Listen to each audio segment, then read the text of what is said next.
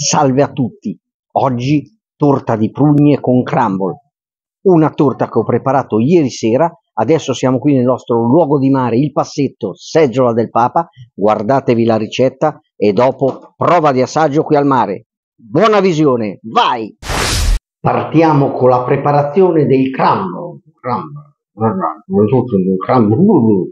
Vediamo subito gli ingredienti. 125 g di burro che ho provveduto a sciogliere e a lasciar raffreddare per almeno circa un'oretta perché siccome questi giorni è fresco è 35 gradi allora già un'oretta ci vuole tutta se no è bene eh, 130 g di farina 120 g di zucchero. Poi vedremo alla fine della torta se è un po' troppo dolce oppure è giusto, perché con lo zucchero magari dobbiamo fare delle, delle prove. Oggi ho messo 120 grammi, però magari può venire un po' troppo dolce e potete insomma regolarvi, ne mettete un po' di meno o se vi piace parecchio dolce ne mettete di più, ne potete insomma mettere un camion ma dopo viene insomma uno schifo, no? Ma ragazze e ragazzi, eh, insomma viene un po' troppo dolce a testa, eh. Mm, mm. Partiamo con la preparazione, mettiamo il burro sciolto, uniamo la farina e poi lo zucchero iniziamo a mescolare con la frusta, frust frust,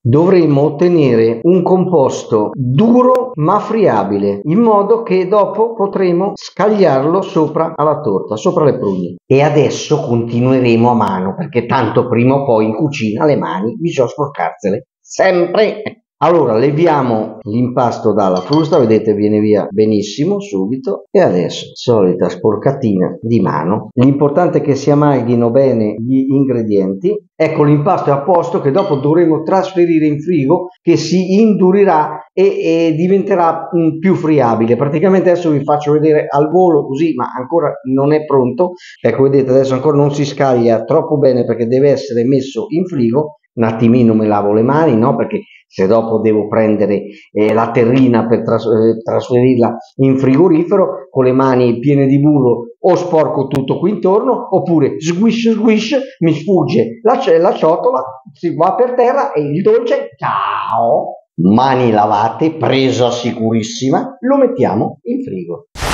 e ora gli ingredienti per la torta perché se non facciamo eh, la torta il crumble che abbiamo preparato cosa facciamo? lo buttiamo via. Beh ragazzi ragazzi facciamo la torta. Vediamo gli ingredienti. 200 g di burro che ho provveduto a tirare fuori prima perché deve essere a temperatura ambiente in quanto si deve sciogliere nell'impasto deve essere morbido non sciolto perché se lo prendiamo dal frigo lo tiriamo fuori è tutto un blocco e insomma rompiamo tutto è un casino viene uno schifo insomma, tiriamolo fuori prima e non mettiamolo a sole perché sennò squaglia tutto via e buttiamo via tutto anche qui insomma ecco. Trin trin trin trin trin trin il burrettin 200 g di zucchero a velo 250 g di farina doppio zero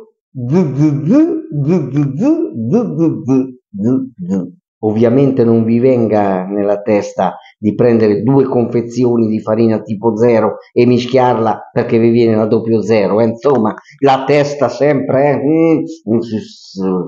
un cucchiaino di lievito in polvere, quattro uova, anche le uova devono essere a temperatura ambiente e soprattutto buone buone, prendetele dal vostro fornitore di fiducia. Se non lo avete, solito discorso che ho detto anche in precedenti ricette, una bella gallina da tenere al terrazzo, in terrazzo, che vi fa l'uovetto fresco, wup wup, eh, insomma, eh. rimediamo con una gallina, una gallinella, circa 800 grammi di prugne, che chiaramente se avanzano non è che le buttiamo, ce le papperemo, ce le papperemo, però ecco, buttiamo solo il nocciolo, perché sennò, insomma, questo qui se lo mangiamo, dopo andiamo dal dentista, dentin, è partito il dentin, e spendiamo tanti soldini, poi gli attrezzi del mestiere immancabili, eh, se come facciamo? Eh? Facciamo con le mani, ma qualcosa ci vuole eh, per aiutarci l'immancabile sbattitore con le fruste, questo è un attrezzo, un elettrodomestico che non deve mai mancare in una, in una buona cucina, questo insomma è importantissimo. Una teglia diametro 24-26 cm al quale ho applicato sotto della carta forno e anche ai lati, cospargendo di burro i lati e facendo delle striscioline di carta forno per fare questo risultato. L'ho fatta un po' più alta del, della teglia stessa perché se la torta dovesse crescere troppo non deborda al di fuori, insomma se dovesse venire un bel panettone, ma insomma non deve venire un bel panettone, dovrebbe venire anche un po' più bassa o a raso, perché se viene più alta abbiamo sbagliato qualcosa, tipo abbiamo messo un camion di lievito in polvere anziché un cucchiaino, insomma la testa. Eh. Poi c'è da dire che insomma a proposito di panettoni, anche se è estate il giorno di Ferragosto nel posto di mare nostro al passetto, è stato servito un panettone da 5 kg, da 5 kg e ce lo siamo pappato tutto perché i matti insomma non è che ma, so fuori, una parecchia, sì, sì, eh. e poi il settacino per la farina, questo è un settacino di mia, di mia suocera che è una signora insomma sì, di una certa età ma non è insomma anzianissima, però mi sorgono dei dubbi perché sembra, sembra, che questo setacino provenga dalla battaglia delle Termopili e abbia conosciuto anche Pelopida ed Epaminonda. Quindi mia suocera, insomma, mm, proprio giovane, mi sa che mm, non è. setaccio, setaccio. Per la preparazione delle prugne le divideremo in due e le priveremo del nocciolo. Semplicissimo, un gioco da ragazzi. Questa è un'operazione che potrete fare se fate la torta voi uomini, far fare alle vostre donne e viceversa, se la fate voi donne la fate fare ai vostri mariti, che saranno felicissimi di farla. Ciao! Chiaramente oggi devo fare tutto io perché mia moglie riprende, quindi insomma le taglio io. Ecco le nostre prugne pronte, qualcuna ne ho tagliata anche in quattro, ossia da mezza ne ho fatta un'altra mezza. Ci servirà dopo per eh, coprire i buchi eventuali della, della torta, per riempirla un po' tutta. Passiamo all'impasto. Eh, adesso iniziamo a entrare nel vivo. Mm. Slurp slurp. Iniziamo ad amalgamare burro e zucchero a velo. Buttiamo il nostro burro, morbidissimo, zucchero a velo, e vai con le fruste. Ci aiutiamo con la nostra spatola magica per comporre bene il tutto. Consideriamo circa 8 minuti per fare questo impasto. 8 minuti, quindi cosa facciamo? Mettiamo una bella sveglia di 8 minuti, ecco ho messo la calcolatrice beh, perché non c'è sto più, eh. una bella sveglia di 8 minuti e andiamo. Sono passati 8 minuti, adesso uniremo le uova una ad una ad intervalli di 4 minuti. Quindi uniamo un uovo, mescoliamo per 4 minuti, poi un altro uovo, altri 4 minuti e così via fino alla fine. Una cosa importante, la velocità di sbattitura al minimo sempre, al minimo, minimum, English, ci vuole sempre, minimum, thank you, oh yes. Guardate che belle uova, guardate come sono già fantastiche.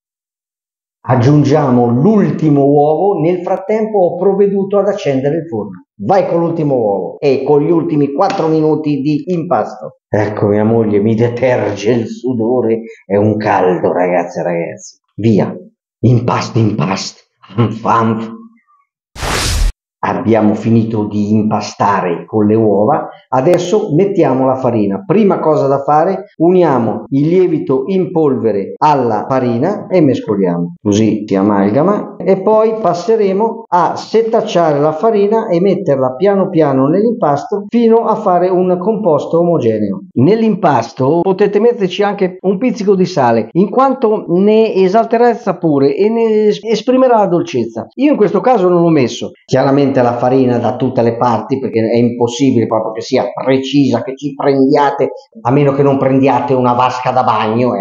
Andiamo con l'ultima mandata di farina e terminiamo il nostro impasto. Anche con le fruste è dura con questo caldo. Ecco il nostro impasto finito, omogeneo. Guardate che bel colore giallo, le uova fanno la differenza, fanno la differenza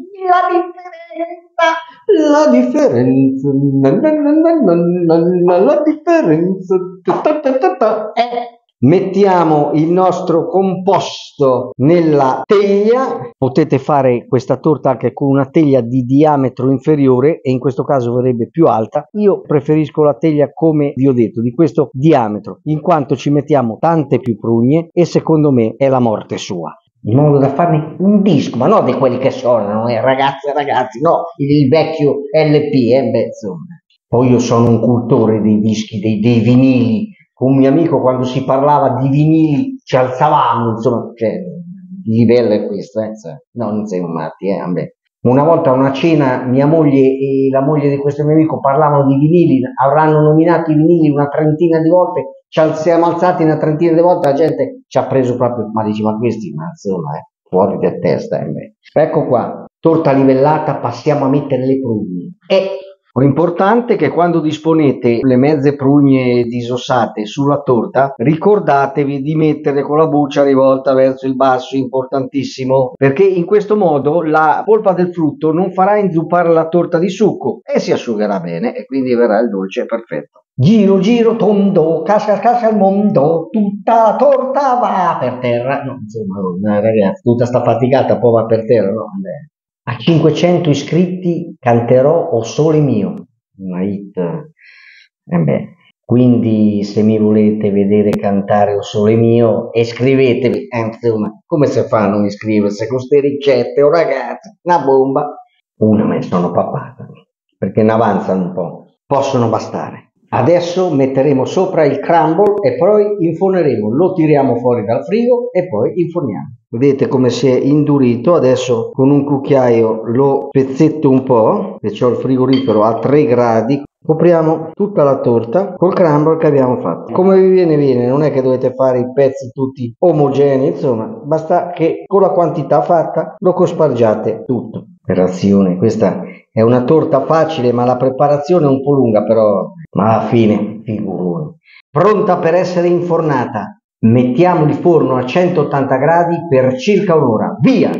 Meanwhile. C'è da dire anche un'altra cosa, che io quando sono stato in Polonia, da mio suocero e mia suocera, loro sono specializzati per i dolci, ce ne sono tantissimi, una varietà impressionante. E mio suocero mi portò in una pasticceria dolci a perdita d'occhio e mi ha detto solo una parola, mangiare.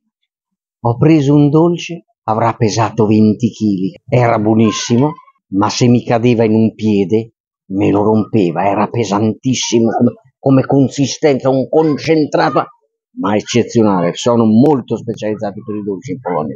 Vi invito ad andarci in Polonia, a Cracovia soprattutto, vedrete che roba, bellezze e si mangia veramente divinamente è, è passata un'ora, ho sfornato, vediamo il risultato, eccolo, facciamo la prova stecchino per sicurezza, prova a stecchino, stecchino e non stuzzichiamoci i denti eh, per la torta. Asciuttissimo, è pronta. Adesso la lasciamo freddare e poi passeremo con l'assaggio. Già l'odore, una cosa eccezionale. E ora la prova di assaggio, ne ho tagliata una fetta. La cottura è perfetta, eccezionale. L'unica cosa forse che è un po' troppo dolce perché il crumble, diciamo, abbiamo messo anche un po' di meno di, di zucchero di, di quanto ne volevo mettere. Consiglio di mettere meno zucchero sul crumble, sarà dosata di zucchero perfettamente provatela e poi mi direte nei commenti cosa ne pensate. Grazie a tutti per la visione e alle prossime ricette. Ciao!